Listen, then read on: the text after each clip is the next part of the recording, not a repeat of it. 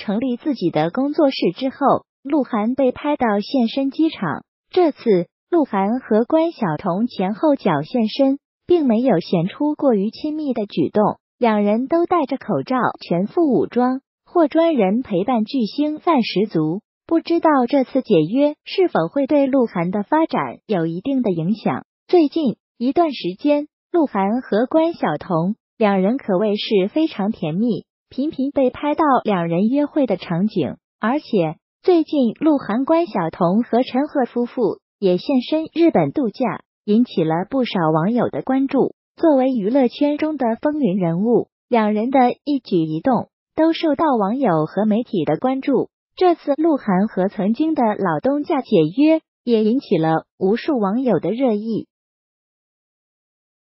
不过，当鹿晗宣布成立自己的工作室时，杨天真表示了祝福和鼓励，看来两位是和平分手。自从回国之后，杨天真对于鹿晗的发展帮助很大，也是一心娱乐的一哥。不过，如今一心娱乐的一哥已经换成了赵又廷。既然韩语原经纪公司一心娱乐三年期满，没有选择续约，也无可厚非。不管怎样，我们还是希望鹿晗单飞之后。能够有更好的发展吧。毕竟在这个纷杂的娱乐圈，人脉还是有很大的作用。我们还是祝福鹿晗和关晓彤两人能够越来越甜蜜，早日修成正果吧。也期。